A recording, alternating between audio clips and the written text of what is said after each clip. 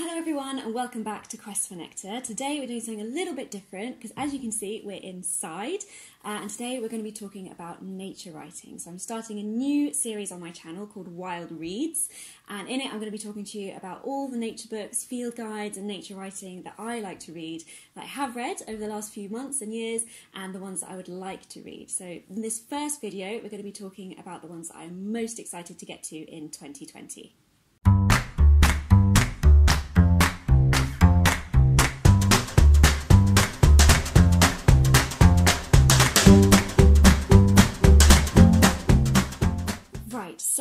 First up we have Wilding by Isabella Tree. Fantastic name for a nature writer.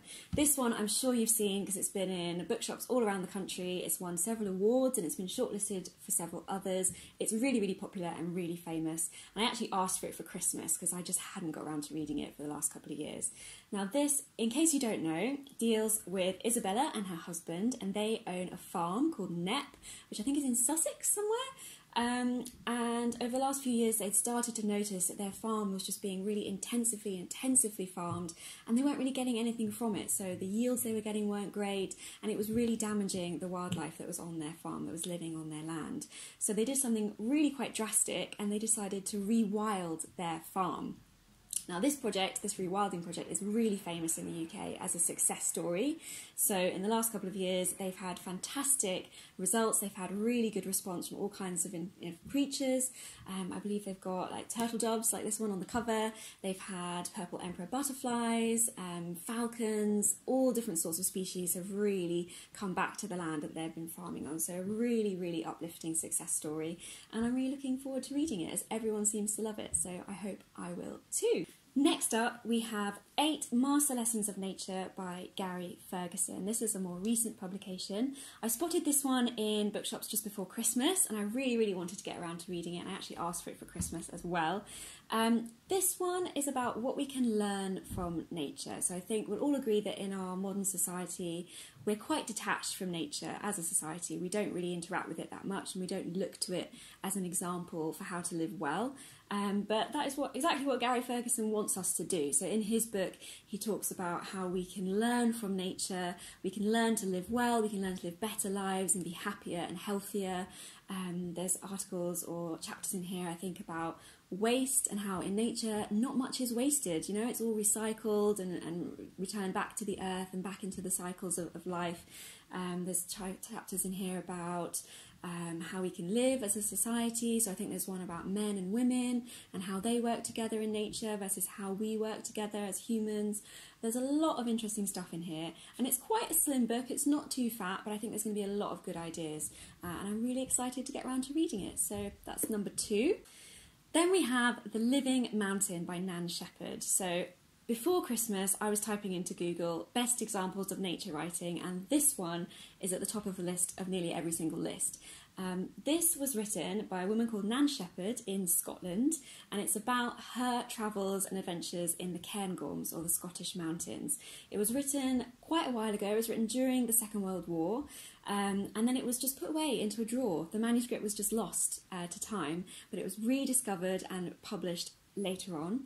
Um, and everybody seems to love this. It's on, as I say, it's on all the lists of the best nature writing out there. It's a tiny little book. It's really small, so it's not going to take me long to read. But I'm really excited for this one. I think it's going to be really beautiful, really poetic, and really evocative of the place. Um, so yeah, really looking forward to that one. Then we have The Salt Path by Raynor Winn. This is another one that's been really popular over the last few months and years, um, and it deals with Raynor and her husband, who unfortunately is diagnosed with a terminal illness. And the way that this couple decide to deal with that is that they decide to go on a long walk. So they're going to walk the Southwest Coast Path, which is a path that goes all along the coastline of the southwest of England, um, from Dorset to Somerset and around Cornwall as well. It's a really beautiful part of the world. Um, I think a lot of people go there, you know, on holiday. They go there for the scenery and the different animals that they can see. Um, but this couple go there to try and sort of coach themselves through or deal with their grief uh, and struggles at this really bad news that they've just received. Um, I do believe that they are either camping or they're homeless while, while they're walking. Um, so it's not going to be the happiest book, I don't think, but I have heard that it is particularly uplifting book. Um, so it's really inspirational how this couple use the natural world to kind of help them through um, their troubles. Um, they use this walk um, to get closer together as a couple, to build on their relationship, and just to think and use that time to get closer and sort of work through their problems. So I think this is another one that's going to be particularly beautiful to read. Quite harsh landscape at times, but also really stonkingly beautiful as well. So lots of potential for really great nature writing in here. And as I say, everyone does seem to like this one, so I think I will too. Next, we've got The Pebbles on the Beach, A Spotter's Guide by Clarence Ellis. So, this is a similar kind of theme. It's talking about beaches, but it's a really, really different book. So, this was written in the 1950s, and I think I'm really to like this one. I love nature writing. It's kind of that British, sort of eccentric nature guides, naturalists. Uh, yeah, I think this is one that's really going to be exciting for me. Um, it's all about pebbles, which on the face of it doesn't seem like such an exciting topic, but I'm sure it will be. If you look at the front, you can see this gorgeous cover here. The end papers are actually, if I can open it up for you, here we go. The end papers are sort of a field guide to the pebbles that you can find on the beach. So wonderfully illustrated.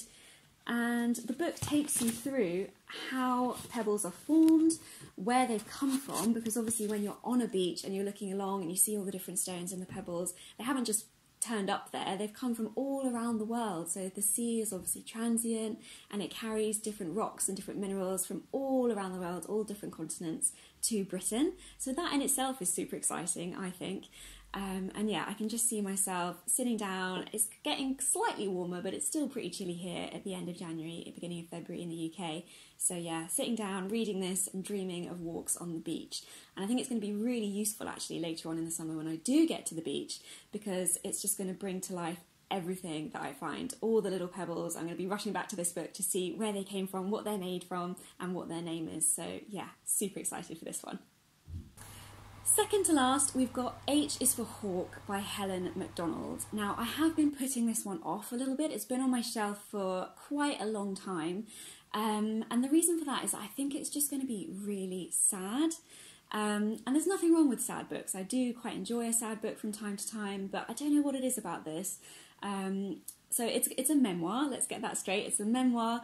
Um, Helen is a woman who, when she was younger, was really into falconry. So she dreamed of being a falconer and training birds of prey.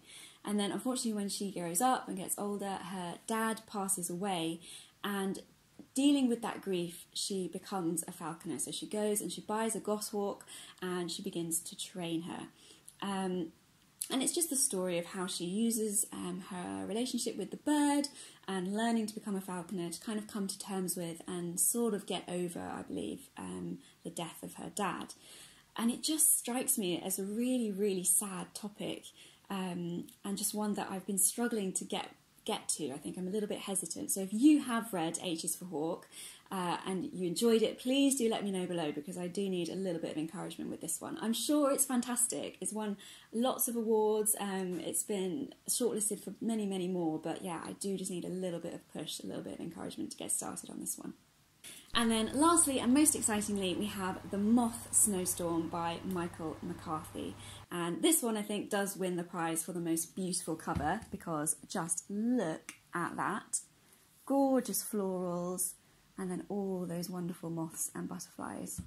Um, so this one was actually recommended to me by Epiphany, which is I think how you pronounce her, her Instagram name, because um, we were talking about Gerald Durrell, and she recommended this to me because it's kind of in a similar vein. So this book is written by Michael McCarthy, and he talks in it about he believes that the main argument for protecting nature and caring for nature is the fact that it brings us as humans a lot of joy. So, the excitement, the awe, the wonder, the joy that nature brings us, he believes is reason enough to protect it and set out to care for it. Um, and to be honest, I'm inclined to agree. I haven't even read this book yet, but I'm inclined to agree with him. Um, and it's a bit of a memoir. It's a mix between, um, I believe, flashbacks to when he was younger and his first experiences with nature and learning to appreciate it and find the joy in it. um, and then also sort of writing about nature and perhaps climate change and how things are changing and how things ought to be protected um, in modern times or in up to date times.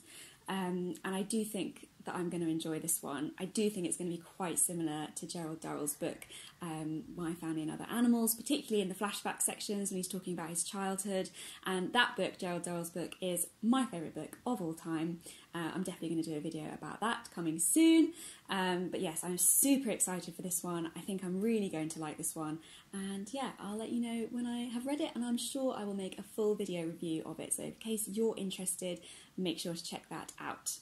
So that's it everyone, thank you so much for watching my first Wild Reads video. I'm so happy to have you here and I hope you enjoyed it too. Um, if you've read any of the books that I mentioned, please do leave a comment down below letting me know what you thought of them.